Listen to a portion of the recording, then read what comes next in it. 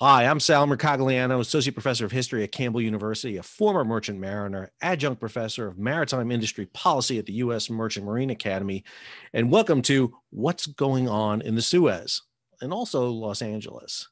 On this, the Too Big to Fail, or is it Sail edition.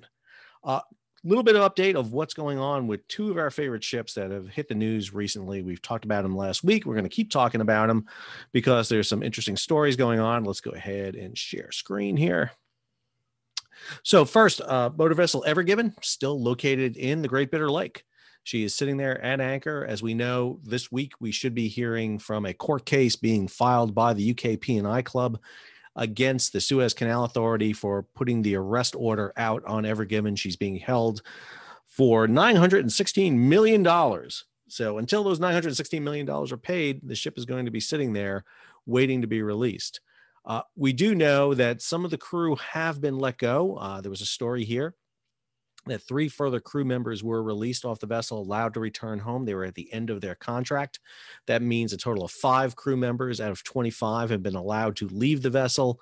The Suez Canal Authority has stated that as long as there's sufficient mariners on board to sail the vessel, safely operate the vessel, they're fine letting mariners come and go. I am not so sure they're going to be as as willing to let the master, the captain, go. But we do know that they've so far allowed five of the Indian crew to head back home. Uh, I'm going to come back to this story in a minute. The other vessel we were talking about last week was this vessel. This is the motor vessel President Eisenhower. Had a couple of videos up on the website regarding this. Please take a look at them if you hadn't watched them. President Eisenhower lost power in the Santa Barbara Channel very narrowly. I mean, very narrowly. Almost had an accident coming ashore on the southern coast of California. Ship had lost power due to an engine room fire. They had gotten the engine room fire extinguished, but then the vessel was adrift, heading toward the south uh, southern California coast before she got close enough to anchor because the it's very deep in the in, in the channel right there it doesn't really shell up until you get close to the beach. A tug out of port Hueneme was able to get a line onto her the uh, the Teresa Brusco pull her back out into the channel a larger tug the shirley c came out of Long Beach, was able to tow her. They actually put her in a berth in Los Angeles. There she was actually at this berth here temporarily. This morning, after the president Cleveland, a another vessel in the six ship program that sails from the United States to Japan, South Korea, Okinawa, and China. She was moved over here to the APL terminal, and now her containers are being offloaded. That tells me that the vessel has suffered enough damage that's going to take a while to repair so that they wanted to put the containers onto the next vessel in the APL fleet they'll be he- heading out. So this is a significant issue for APL. APL, which is a subsidiary of CMA, they operate U.S. flagged vessels uh, under the Maritime Security Program. There are nine of them. Six of them are in this service. One is in uh, does a kind of inter Persian Gulf trade, and the other two operate between Japan, Korea, excuse me, Japan, Okinawa, and Guam and Saipan. So this is a, obviously a big setback for them. Uh, wanted to talk about a couple of issues here. And again, the first one right off the bat is this crew change that took place on Ever Given. So I want to talk about this for a second. So five crew members have been allowed to go off. Crew change on board ma- merchant vessels since COVID outbreak early 2020 have been a major, major issue. There was a time last year where 400,000 out of the 1.2 million mariners who were afloat were stuck on board vessels above their maximum allowed time on board. Under international maritime labor conventions, you cannot sail for more than a year on a vessel, which means the max you can be on is 11 months. And that was exceeded last year. Now we know that 400,000 mariners were over their contracts. Their contracts usually run from four to six months, but some can run longer.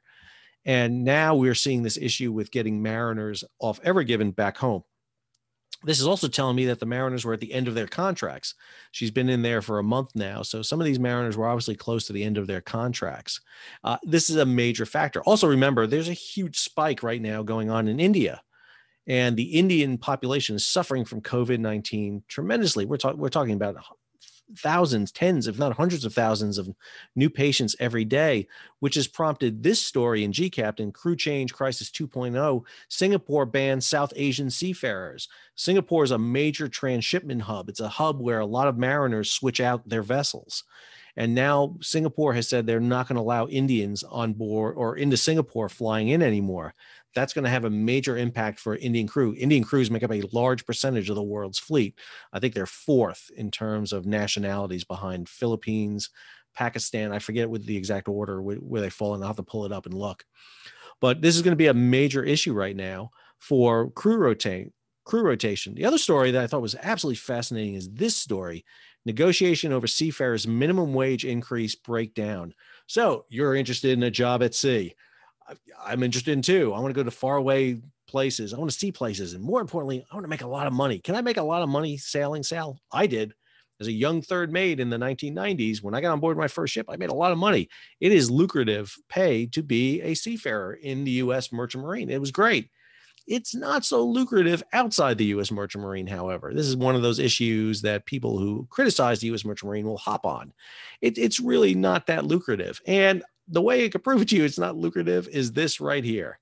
The minimum wage for seafarers is $641 a month.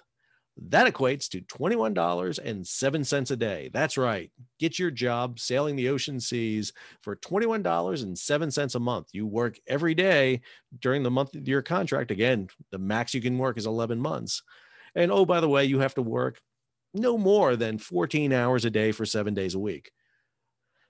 What gets me about this story more than that, that it's that's lousy. And I know, hey, $21, that may be a lot in some countries. I understand that. Gotcha completely understand that is this element right here that they wanted to raise the salary from 641 months to 645 beginning in 2022 all the way up to 648 in January 2023 and all the way up to $660 man by January 24 so yeah I mean you're talking about $19 a $19 wage to give mariners yearly. That not not monthly not daily not hourly yearly. They're talking about giving them this month. $19 a month extra to, to, to, tap on here. $19 a month. Again not a lot of money right here that we're talking about.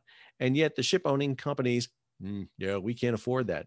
I should also mention there's stories in gCaptain talking about record profits record profits for everybody right now highest profits they've seen since prior to 2008 right now maersk is making billions of dollars one recorded a massive uptick, over 3,000% increase in, in, in money. And so, on one hand, you have the, the issue here of how much we're going to pay these mariners. We can't pay them too much because, you know, we got to make ends meet. But at the same time, record profits are being held. So, be thinking about this for those mariners trapped on board vessels. We know about Ever Given, uh, but this is one of only a few vessels that really resonate. The other story I wanted to talk about is this one. This is from Business Insider. I found this story really interesting. Ever Given crisis puts megaships under the spotlight. As vessels get bigger and more automated, a long serving captain and other experts are weighing up the risks. Very interesting story. Uh, up here, you see the the uh, uh, writer here is uh, Kevin. I apologize, can't read. Uh. He's in here talking about this uh, talking about what's going on, uh, talked about the risk, and he talks with Captain Rahul Khanna of Allianz, which is a, risk management firm. And he talks about, again, the issues associated with this. And I'll have this link so you can read the story. And I always recommend you take a look at the story and read it on it. But he talks about a couple of things in here surveying the world's riskiest shipping routes. So obviously, shipping routes are a big factor. He talks in here about the, the routes that have the most issue. And particularly, they talk about the polar route, the, the route that's being touted now by Russia as an alternative to Suez, much shorter. You know, to go from Yokohama to Rotterdam is about 15,000 kilometers through the Suez Canal. To go via the Northeast Passage, which is north of Russia, it's only 9,000 kilometers. So definitely being uh, bandied about. Concerns about long journeys during the pandemic. Again, one of the things we see is crews staying on much longer than before, not getting their rotations on board.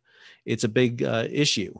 Uh, and we see that going on. And in this story, too, he highlights a couple of uh, uh links in here, uh, which I think are really interesting. And one of the links he highlights is this story right here Bigger ships and fewer companies, two sides of the same coin. Uh, this is UNCTAD, the UN Committee on Trade and Development, I believe it is. And UNCTAD does the report on review of maritime transport, just a great document. But one of the things they do is, is, is do this, what's called the liner shipping connectivity index. Uh, the liner shipping connectivity index, it sounds very sophisticated, but basically what it does is it takes a snapshot of the container market in 2006 and compares it to today. So, for example, they do a whole series of, of measures here ship size, deployment capacity, number of ports, direct connections, weekly calls, services, and companies, and they compare it from a fixed point in in in first quarter 2006. That's the index. That's the 100%. And how has things increased? Well, one of the things you see that has increased since 2006 is ship size. Ship size has increased over 2.2 times, you know, over 220% roughly right there. It's increased quite a bit right there. You see it's the largest thing on the index. Uh, deployed capacity, the number of containers that are carried has increased.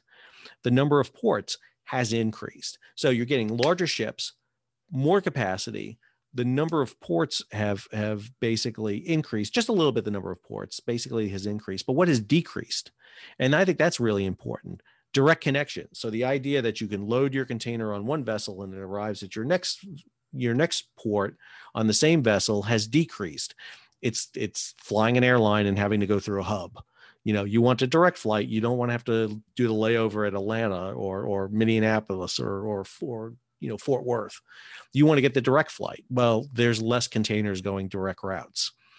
Uh, weekly calls. The weekly calls are down how often you can get your containers are going down the services what services are being provided is going down and more importantly the companies are going down. All those are measurements in this and what this tells us is the container liner service is getting bigger it's getting consolidated there are less options out there for you.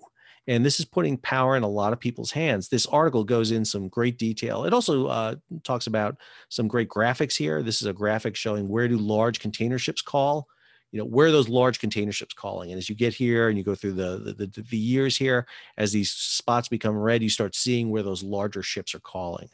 And you see them right here in asia down in singapore at sri lanka in oman uh, up here in the mediterranean up in in rotterdam northern europe off the east coast of the united states thanks to the panama canal. Oops go back here sorry about that let's go back there. And off the west coast of the united states and it may help for me to pause it right there there we go and off the west coast of the United States. Same thing, you see other graphs that they use here distribution by ports of large container ship size. So, you know, how, what are the, you know, what are the ports? What's the container ship size? And as you go through time here, you start seeing the, the, the size of ships begin to increase, the big jump up there to 20,000 boxes. We see more and more 15,000 boxes, less of the smaller containers going in. And again, smaller containers are more expensive to operate because they are are they just are because of economies of scale. But in some cases you have to use small containers. You can't use big containers in certain ports the hawaii trade. Going from the west coast of the united states to hawaii you do not need a 25000 box ship calling on hawaii. Only a million 1.3 million people living in hawaii. You don't need that big. You need vessels that are tailored for that trade and so you're always going to have these vessels, these smaller vessels, these feeder vessels. But what we're seeing is this growth here of these large maximum size vessels. Everybody thought it was, it was going to standardize around 10, 15,000 boxes. But right now we're seeing the max container ships going. How many carriers do ports have? This chart is the inverse of the large ships. You'll see dark red colored spots here right now, Northern Europe. Singapore, Japan, China, East Coast of the United States. And what you'll see is that number decrease, not increase, decrease, because we're seeing the diminish diminishing of the number of carriers out there who is basically hauling cargo because of consolidation. Everything's being consolidated into those big nine container firms and three massive alliances and what we see is is where you you see the the blue out there is those are the feeder services. They're the ones providing unique services to areas not provided by the big companies. And then distribution of ports uh, by numbers of companies. Again this is just the graphic version of that right here where you see that being done. You know how many you know how many ports are serviced by companies? Uh, most companies service very small ports, but there are a few that service a large number of ports. And what you're going to see here, and I think this is going, yep, still going, is you'll see some companies all of a sudden uh, d- distribute to more ports. and and very few number of companies do that. And it's it, just tends to be very small. Uh, this is a great report. I will have the link to it here. I think it's a great one to have. I also have this one here which talks about the escalation of freight rates during covid so this is a graph it shows you the shanghai containerized freight rate index basically how much it costs to ship a container and it's using a series of measurements from Shanghai to South America, Shanghai to West Africa, Shanghai to East Coast of the United States, Shanghai to the West Coast of the United States. And you'll see how the containers basically market fluctuates. They do it after 2007 8 because it bottomed out. It was like bottom out. And you'll see it move, move, move. But the big thing here is this spike that all of a sudden takes off after COVID because, again, demand increases for container ships. And what this all means is ships like the Ever Given ultra large container ship versus a, a medium sized container ship like the President Eisenhower. One of the things that we're going to see is do we continue building these ultra large container ships? This is a story from 2018 in Maritime Executive. It talks about Euronav, which is a oil company, becomes world's only ULCC owner. ULCCs are ultra large crude carriers. These are the behemoth crude carriers. These are the massive ones that were developed due to the closure of the Suez Canal back in the 1967 to 75 timeframe. And one of the things that we see with ULCCs is there are not a lot of them around anymore. They are too big. They can't go into almost any ports in the world. They have to go to these offshore terminals and operate. Uh, and they're they're just kind of out of place dinosaurs. There's not a lot of them left the tanker industry has shifted over to VLCCs, very large crude carriers, but, but even more importantly, they're dealing with LR carriers, basically long range carriers, kind of medium size uh, tankers versus these large, massive things. Does that happen in the cruise ship industry? Do the mega cruise ships, which are getting ready to fire back up in the United States potentially this summer, are we going to see 6,000 passengers packed on these large cruise ships, or are these ships going to be too big? Are we going to go back to medium sized cruise ships or are those large cruise ships going to have to reduce the number of capacity on board? Same thing with container liners. Are we going to see 20,000 box vessels? We just saw CMA place an order for container ships. They're not ordering the big, huge, massive container ships. They're ordering 10 to 15,000 box container ships. Big issue going on in the future. All of this is resonating as a result of Ever Given and issues we see in shipping today. So I hope you enjoyed this episode of What's Going On in the Suez and also Santa Barbara, uh, the Too Big to Fail, Too Big to Sail edition of the episode. If you liked it, please subscribe, give it a thumbs up. Uh, be sure to hit the bell so you're alerted about new videos.